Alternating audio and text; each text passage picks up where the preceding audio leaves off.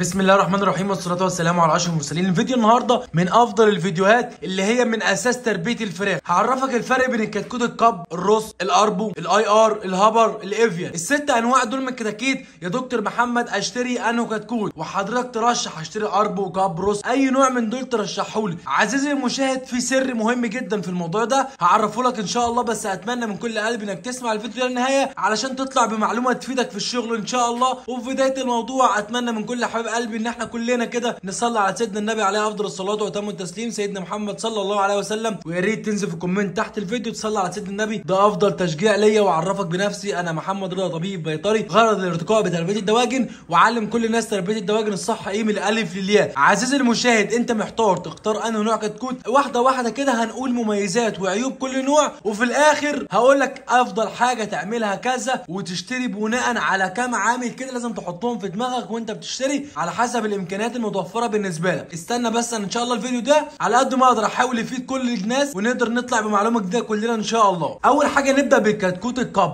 الكتكوت الكب ده ممتاز ممتاز ممتاز وحلو جدا. تربيته في الشتاء بالأخص. ليه بقى؟ لأن الكتكوت الكب مش بيتحمل الصيف. الحرارة عالية ودرجات الحرارة العالية مش بتحملها. فبالتالي تربيته في الشتاء بيبقى أفضل كتير من الصيف. ده رقم واحد. رقم اتنين الكتكوت الكب بيرمي صدر كويس. فلما تيجي تبيع الفراخ والتاجر يجي يشتري من عندك لو انت عندك مزرعة كبيرة يبص كده يلاقي صدر الفرخة ما شاء الله حاجة حلوة قوي حاجة محترمة. فالصدر الفرخ ده يا جماعة بيفرق طبعا معاك كتير جدا في البيع فبيرمي معاك في آه، لحم أكتر في الصدر ومقاوم معاك للأمراض. الحاجة التانية حلو جدا في الشتاء الحاجة الرابعة استجابته للأدوية. يعني كتكوت مثلا جاله دور برد عنده شوية سلات تديله دواء حساس للدواء بيستجيب على طول معاك في أي دواء شغال. لكن عيبه الوحيد إنه في الصيف مش بيتحمل الحر ودرجات الحرارة عالية فده العيب الوحيد بتاعه. نيجي بقى لتاني كتكوت معايا وهو كتكوت الرص. مميزاته إيه وعيوبه إيه؟ الرص ده حلاوته بقى إنه بيتكيف على أي مناخ. صيف شتاء شغال. درجات حرارة قلت منك غصب عنك زادت منك غصب عنك شغال. ممتاز جدا في التكيف مع المناخ. فده طبعا ميزة كويسة جدا. بس هو عكس الكتكوت القاب. ليه؟ اللحم بتاعه أكتر الوزن عنده بيبقى في الوراك. يعني بيدي لحم أكتر في الورك. الحاجة الثالثه كمان والأخيرة معاه بقى وهو إنه ضعيف في استجابة الأدوية. قد علاجات تستجيب بالعافية معاه. والموضوع ده بالذات عن تجربة أنا شخصية. كنت جايب دوره كتكوت رص وتعب مني غصب عني. طبعا أجيب أي أدوية عمال استعمل في أدوية. استجابة ضعيفة. غير الكتكوت الرص بصراحة أول ما بنزل الدواء تاني يوم بتلاقي فيه نتيجة. يعني دواء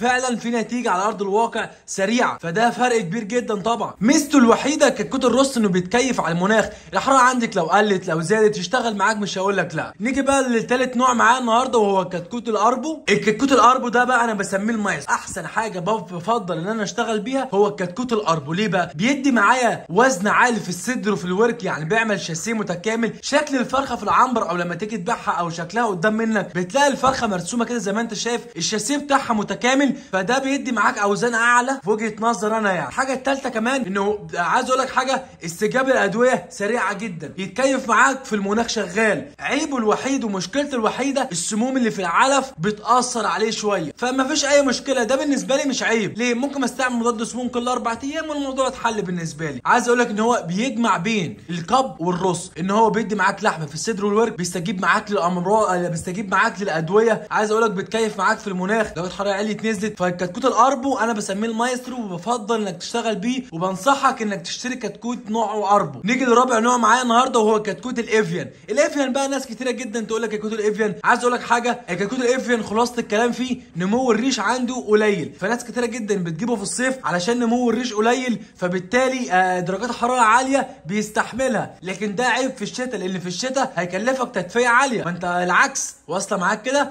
ما هيفضل هيبقى مثلا عمر 20 يوم والريش بتاعه تحسه اقرع كده كتكوت اقرع وفيهوش شعر. ده طبعا هيعوز منك إنك تدفي أكتر وأكتر في الشتاء فهيبقى مكلف. لكن الأفيان كويس في الشتاء لأن مش بيشيل معاك إيه؟ مش بيعمل معاك ريش كتير. الحاجة والنقطة المهمة إن كتكوت الأفيان يعني آه، كان موجود في السوق أغلب الكتاكيت الموجودة في السوق تعبانة بالأفيان إلا بقى لو الشركات محترمة. فأنت لو أنت عاوز تشتري كتكوت الافيان اشتري كتكوت من شركة موثوق فيها شركة معروفة شركة محترمة لكن ما تجيبش كتكوت أهالي والقصة الحمضانة. الحضانه ده يا جماعة. يجي بقى الخامس نوع معايا وهو كتكوت ال IR كتكوت ال IR ده يا جماعة عايز أقول لك محترم و10 10 وزي الفل. بس بيتميز بص بص كل ح... كل كتكوت بيتميز في حاجة. كتكوت ال IR ده بيتميز إن من عمر يوم لحد 20 يوم بيرمي معاك أعلى إنتاجية. يعني بيرمي معاك لحم بدري بيوفر معاك الدورة بدري. ولكن عايز أقول لك حاجة مشكلته يا جماعة وده عن تجربة بقى شخصية لما بتتضرب فيه أو بيجي فيه أمراض بيبقى وحش قوي ورخم قوي. إنك عشان تشتري كتكوت IR لازم برضو زي ما قلت لك تجيب من شركة مضمونة وشركة موثوق فيها انه مش شائع جدا